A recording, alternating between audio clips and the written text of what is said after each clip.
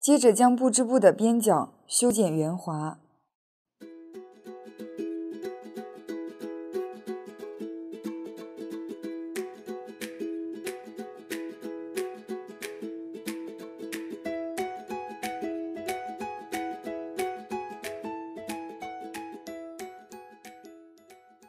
是这样的效果。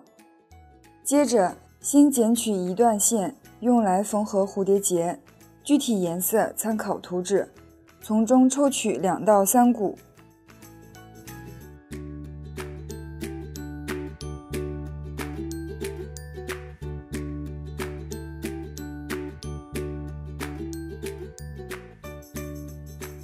穿上缝针备用。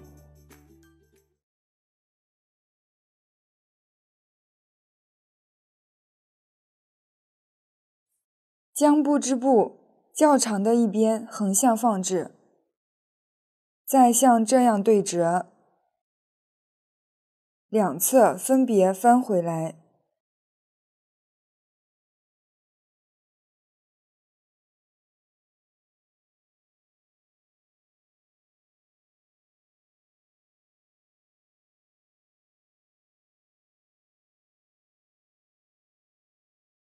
折叠成蝴蝶结的形状，用缝针从折痕的中间缝几次定型。开始的入针位置在蝴蝶结的其中一个面上，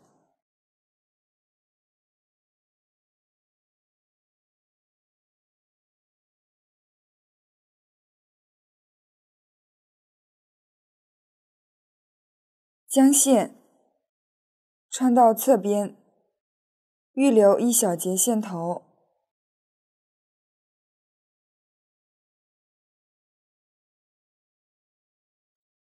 再来回穿几次，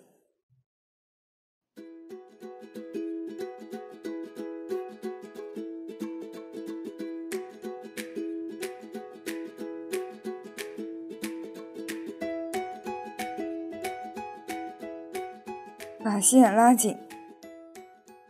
这个就是蝴蝶结的效果，不用断线，将蝴蝶结缝在身体的正前面，也就是对应上方连接处往下，在身体的第三到四圈处缝合。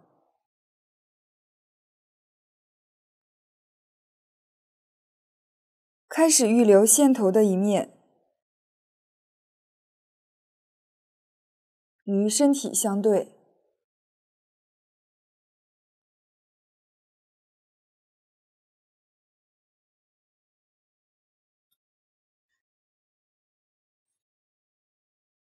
缝合还是挑身体表面的线圈。